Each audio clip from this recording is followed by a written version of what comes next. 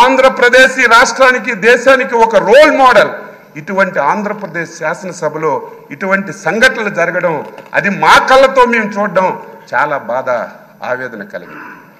ఏది ఏమైనా ఒక అనుభవజ్ఞైనటువంటి వ్యక్తి ఈ రోజు వరకు మీ అవతారం ఒకటి ఈ రోజు నుంచి మీ అవతారం మార్చాలి. ఎందుకంటే రాజకీయాలు చేసేటప్పుడు పదునైన మాటలు మాట్లాడాలి.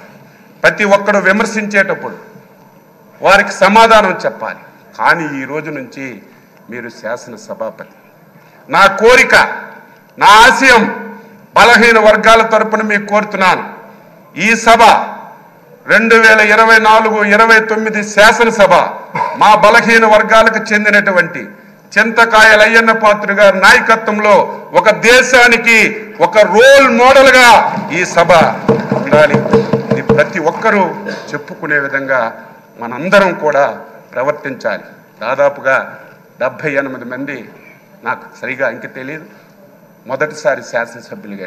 ఎనభై ఎనిమిది ఉంది ఎనభై ఎనిమిది మంది. కొంతమంది ఒకసారి రెండు సార్లు అయ్యారు. నేను కూడా ఆరు సార్లు శాసనసభగా ఎన్నికయ్యే అవకాశం మా నాయకులు శ్రీ నారా చంద్రబాబు నాయుడు గారు ఇచ్చారు. ఆయన ఎప్పుడైతే ముఖ్యమంత్రిగా బాధ్యతలు స్వీకరించారో అప్పుడే నేను ఎమ్మెల్యే అయ్యాను నేను కూడా సభ్యులందరికీ కోరుతున్నాను. ఎవరమైనా సరే కొంతమంది వ్యక్తులు పేర్లు ఈ శాసనసభలో వినడానికి వీలు లేదు. పార్టీలు పేర్లు ఎక్కర్లేదు. ఎవరు ఏది చెప్పినా స్వచ్ఛంగా మనం సమాధానం ఇద్దాం రాష్ట్ర ప్రయో